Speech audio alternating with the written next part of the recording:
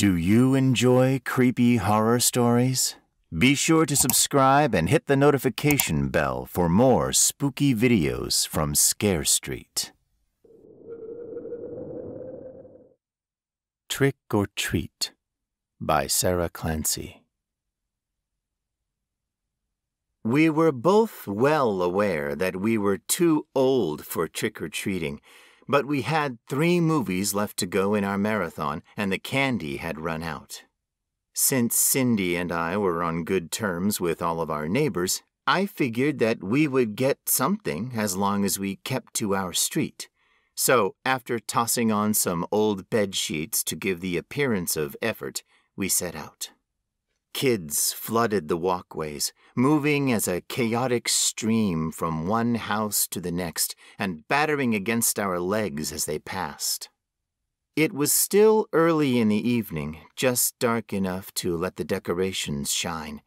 The mechanical growls and whirls of the more elaborate setups were barely audible under the delighted squeals as we made our rounds. While just about everyone rolled their eyes at us, they still gave us a handful or two of their candy stash, making it well worth the effort. We had more than enough by the time we had completed the loop and were headed back to our house. That's when I stopped at Mr. Wilson's house. I didn't know that he set up a haunted house this year, Cindy said, while we paused to let the stream of children pass before us. Mr. Wilson had never really been into the whole Halloween thing. Not that he ruined the fun for anyone else. Instead, he just skipped town for a few days. I studied the faces of the children as they passed. Apparently, his setup wasn't that great. They weren't laughing with their usual glee. But then they weren't chatting about how lame it was either. I couldn't decide if that was a good sign or not. We should go check it out, I said. Cindy gave me a sour look. You wanted to see horror movies, and I gave you that. My charity ends there. There wasn't a person on earth easier to scare than Cindy, which of course made her the perfect person to do these sorts of things with. If the place was too lame to offer a thrill, at least I'd have her to laugh at. Oops, he's spotted us, I said as I returned his wave. Can't get out of it now. Cindy alternated between glaring at me and smiling politely at Mr. Wilson as we headed up the path to his house. Trick or treat, we beamed in way of greeting. We went through the usual remarks as he placed generous handfuls of candy into our bags, but we quickly ran out of things to talk about. So I mentioned his haunted house. Mr. Wilson looked so damn proud of himself that we couldn't say no when he invited us inside. Cindy kept close to my side as we entered, but the tension in her shoulders soon faded. Dark plastic sheeting had been hung up to close the room off from the others, creating a crude maze. Dime store cobwebs with plastic spiders were tossed over a long, thin table while bed sheets hung from the ceiling, balloons plumping up their insides. Mr. Wilson further ruined any atmosphere as he ran about organizing his costume and hitting on an old tape player. The sounds of the thunderstorm distorted as the tape struggled to move. Mostly it just sounded like static. Cindy and I shared a glance. It seemed like neither of us could decide if it was funny or a little sad. We straightened our features as Mr. Wilson turned around. With his cloak and top hat, I supposed he was going for an old English gentleman vibe. Clicking his fingers like he had just remembered something, he crouched down and pulled a large doll from under the table.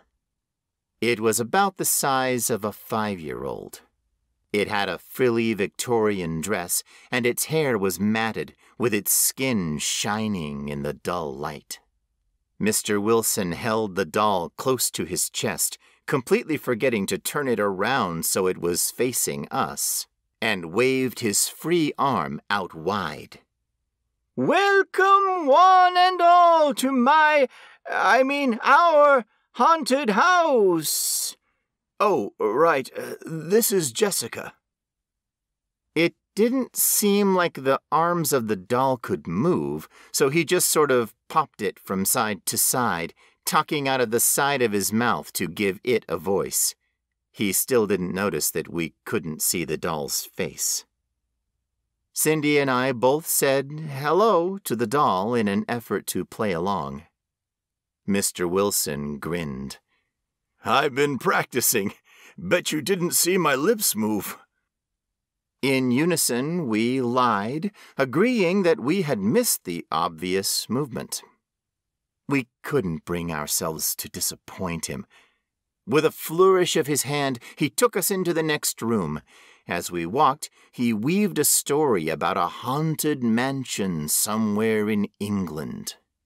It was hard to follow since he forgot more lines than he remembered and was constantly backtracking to correct himself. The next room was just as bad. There were a few rubber bats, a sheet over the window that was already falling down, and a table set with bowls of cold spaghetti and peeled grapes. Mr. Wilson declared them to be intestines and eyes before realizing that he had forgotten to cover them. He made his apologies, juggling Jessica as he searched for whatever was supposed to be tossed over them. So we politely averted our gazes and gave him some time. Cindy gasped sharply, and I whipped around to face her. She had one hand on her chest and was trying to catch her breath. Over her shoulder, I saw what had startled her. A mannequin was set against the wall beside the door, dressed in a cheap doctor's costume and its face hidden beneath a surgical mask. Seriously? I chuckled under my breath. I thought someone was standing there, Cindy said, just as quietly. Mr. Wilson recaptured our attention and continued with his story, I almost groaned as he took it from the top, still weaving the Jessica doll back and forth when he tried to talk for her. Even as boredom began to brew inside me, we made sure to listen patiently, chuckling and gasping at the appropriate moments. The only thing that made it bearable was the way Cindy kept sneaking peeks at the mannequin, like she expected it to move. I nudged her. She was startled, just like before, this time turning to glare at me. It improved my mood immensely. It's staring at me, she whispered. It can't stare at anyone. It doesn't have eyes. It was hard to keep from laughing at her as we followed Mr. Wilson to the next room, his kitchen. Here, Two mannequins sat at the kitchen table, each tipping at odd angles, like they were about to topple onto the floor. Mr. Wilson rushed over to move them back into place. The movement was clunky, with none of their arms or legs moving at all. Each one had the same lacquered shine as Jessica, like a well polished table. After they were righted, Mr. Wilson began his speech about them, summoning forth dark spirits with their Ouija board. It was the same urban legend I'd heard since I was three, so I took to watching Cindy instead. Her nose wrinkled slightly as she sniffed at the air. What? I asked. Can't you smell that? She whispered back. To humor her, I took a few discreet sniffs. Under the traces of candle smoke, there was a sharp note of chemicals. Not bleach, something else I hadn't smelled before. I shrugged at her. We were in a kitchen. It wasn't unheard of for someone to go overboard with the antiseptic. Then we were moving again, going into a little offshoot by the laundry room. The chemical smell grew stronger until it burned my nose. Cindy lifted her hand to cover her mouth. We exchanged a look, but neither of us said anything. There were three mannequins crammed into the small laundry room. They were dressed in cheap clown outfits with a bit of fake blood splattered across the walls, each drop statically placed for an easy cleanup off the tiles. The hallway light caught on what little of their body was left uncovered. They each had that same shiny finish, but they seemed to be older, with fine cracks appearing across their skin.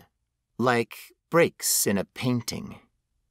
I was trying to pinpoint what that smell was when Mr. Wilson juggled Jessica into his other arm and swept aside the curtain that he had put up to divide the hallway. The moment the plastic rippled back, a ripe stench wafted out. It mixed with the now ever present reek of chemicals. The stench was an almost physical thing. I could feel it coating my throat a little more with each breath.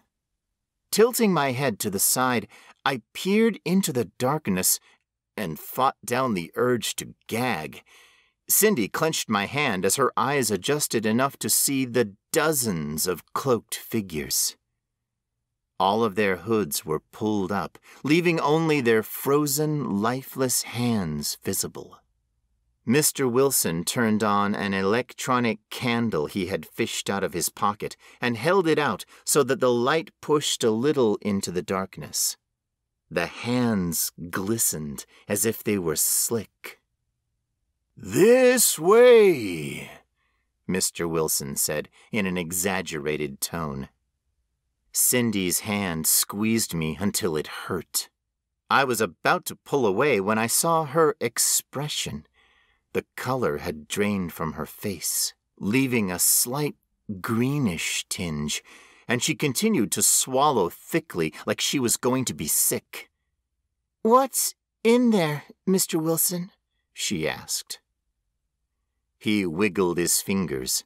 With Jessica in one hand and the candle in the other, it wasn't an easy task. All of my victims, he said, before breaking into a brilliant smile. There was something in the expression that made me cringe. It was a knowing little smirk, like a child that had a secret and was waiting with anticipation for the great reveal. I eyed the lineup of figures again. It would be easy to hide a friend in there to jump out as we passed. I meant the smell, Cindy said softly. Mr. Wilson's smile grew impish. He was almost bouncing on his toes with delight.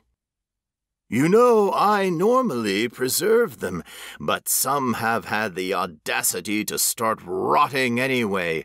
Rude, right? That's all right, though. I'm just going to start again. I waited for him to look away before I rolled my eyes and leaned closer to Cindy to whisper, Twenty bucks, it's old hamburger meat. Cindy gave me a sideways look. I don't like this. I laughed and nudged her with my elbow. How can you be scared right now? I had to grab her hand to get her moving again. The moment we entered the hallway, the stench became unbearable. Mr. Wilson had really gone overboard. With the mannequins on either side, we had to walk in single file. Cindy squeezed my palm, her grip tightening with every step. Using my other hand to cover my mouth, I tried to pay attention to what Mr. Wilson was saying but it was a struggle. Every now and then, our leader would look back over his shoulder to check that we were still there. That smile remained on his face the entire time, that secretive, expectant smile. It was starting to get to me. I knew someone was coming, I just didn't know when. I couldn't take looking at that smile anymore, so I shifted my attention to the figures, sneaking glimpses at their hands and what little of their faces I could make out. Their fingernails were black. Not black nail polish, but a rotten, molten black that pressed up under the outline of the nails. Almost like a bruise. It was an astonishing amount of detail to give to something so pointless. It must have taken him hours to perfect.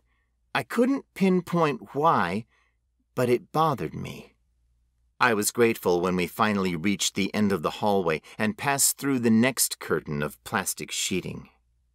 The smell remained, like it had seeped into my pores and coated my hair.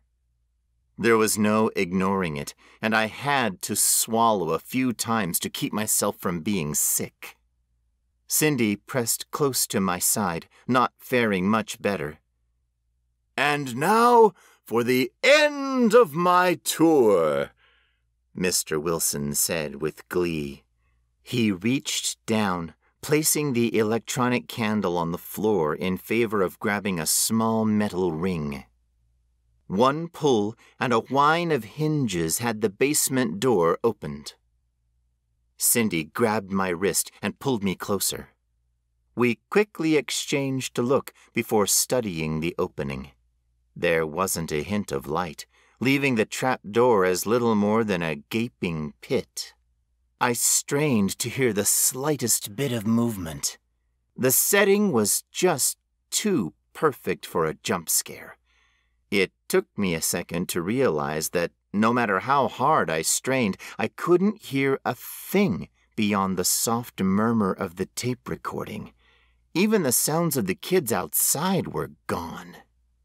Watch your step, Mr. Wilson grinned.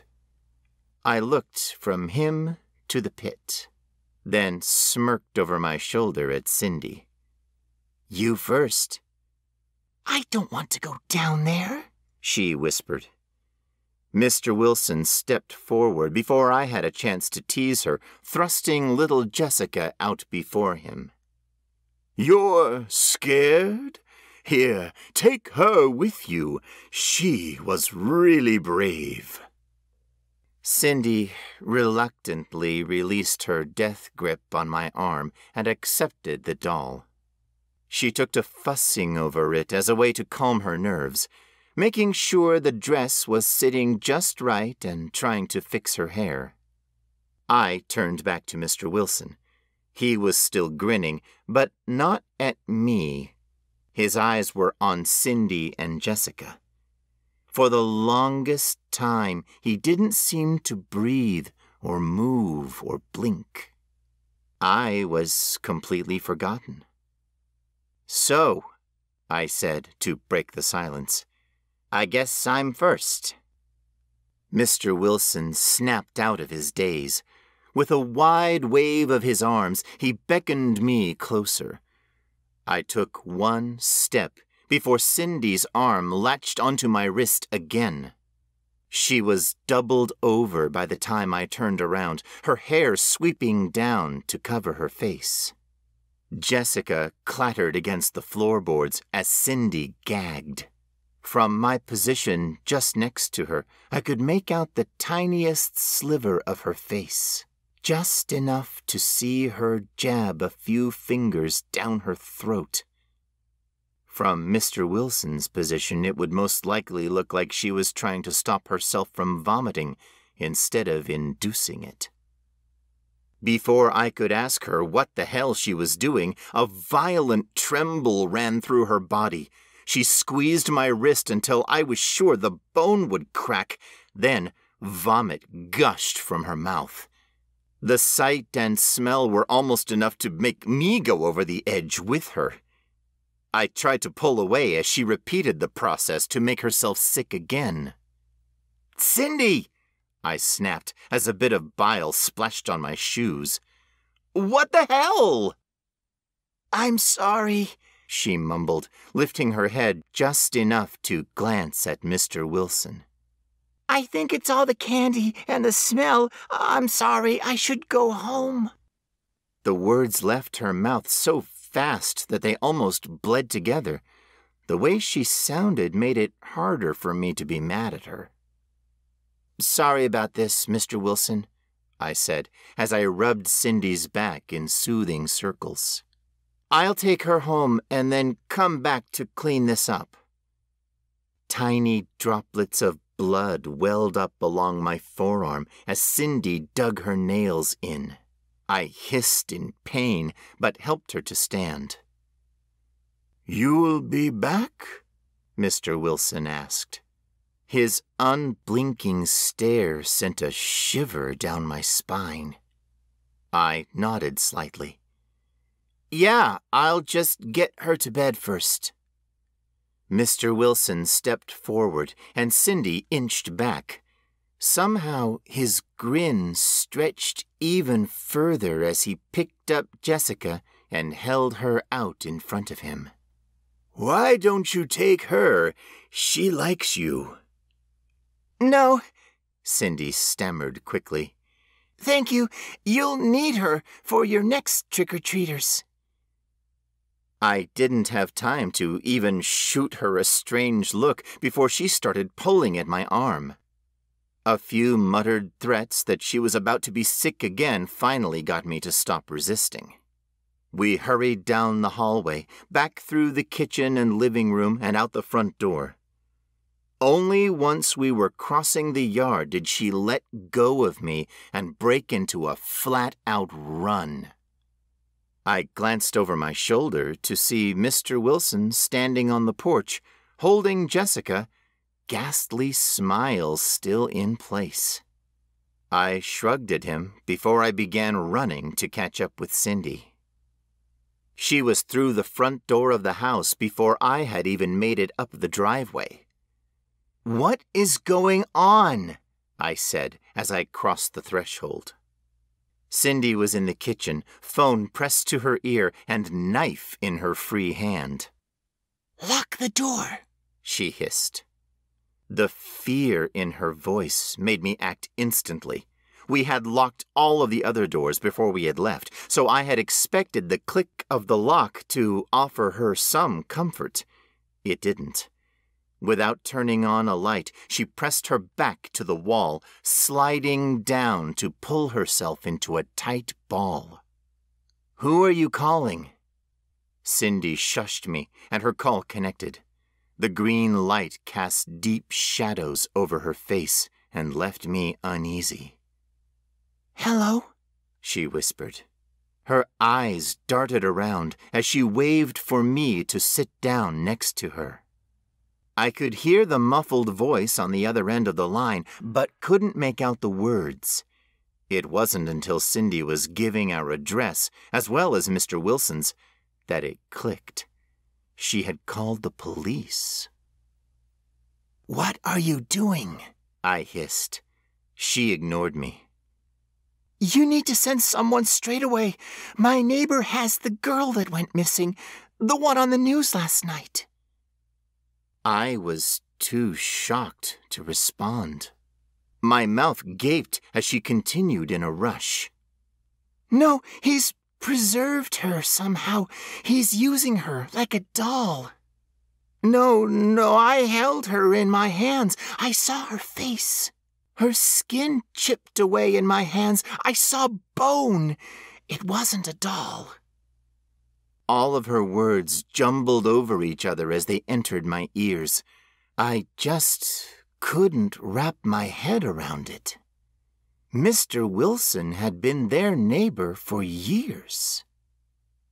I think there are others, Cindy whimpered.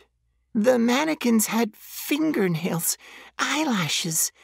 Please, just hurry. He tried to get us into his basement. No, we're home now. I tried to cover, but I think he knows. He knows. The thought lodged into my brain. It was chased quickly by another thought. we house sit for each other. I strained, pushing through the chaos filling my mind, but I couldn't remember if I had gotten the spare set of keys back from him. A creak of the porch floorboard made my heart stop. I grabbed Cindy's hand and pulled her to her feet. There was no time to get out the back door, so I opened the crawl space under the stairs and shoved her through. The sound of keys clicking together made Cindy's feet falter. By the glow of the phone, I saw her eyes widen. I hurled myself in after her. There was barely enough room for the both of us, and our legs pressed together painfully as I hooked my fingers under the door and pulled it shut. Cindy opened her mouth to say something, but the whisper of hinges kept her silent. Sitting in the dark, with both breaths held, alert to every slight groan and creak, the voices of children grew and fell swiftly. It took me half a second to figure out why. The door had opened and closed. Someone was inside the house. The footsteps slow, steady, as if trying to minimize any noise. I could only faintly hear them as they trailed up the stairs above our heads. Cindy was shaking. I could see it by the tremble of the phone light that she was trying to smother against her cheek. He's here, she whispered to the person on the other end of the line. The call seemed at once both a protection and completely useless. Hot tears trickled from my eyes as I listened for more footsteps, desperately trying to place where he was. Mr. Wilson barely offered a sound, to the point that it seemed he was everywhere and nowhere at once. The moment I was sure he was in the upstairs bathroom, I would catch the soft scrape of shoes over the kitchen tiles. The back door would rattle, but shadows would slip through the light seeping under the door. I almost screamed when the voice called to us. Not Mr. Wilson's real voice, the one he had used for Jessica. High pitched and taunting, followed by a giggle that set my nerves on end. He called to us in that voice over and over, trying to coax us out. Cindy flicked against me when we heard cupboard doors violently ripping open. He was looking for us. We both looked to the little door of the crawl space. The only way I could keep it closed from inside was to slip my fingers through the gap and tug. Images flooded my head of a knife stabbing under the door and severing my fingers should I try. My mind whirled, trying to think up what I'd do if the door opened. There wasn't any room to move. I didn't have a weapon. The footsteps drew nearer, slowed, and stopped just inches from our hiding place. Mr. Wilson spoke again, keeping to that twisted, childish voice that I could have sworn was coming from right beside me, like he was lurking in the darkness with us. Police sirens pierced the night. I never heard Mr. Wilson leave. Neither Cindy nor I dared to breathe until we heard the police entering the front door. We didn't move until the voice on the other end of the line said it was safe. Slowly, we crept from our hiding place and into the waiting arms of a police officer. It was a moment of chaos, with the officers trying to get us outside as swiftly as possible.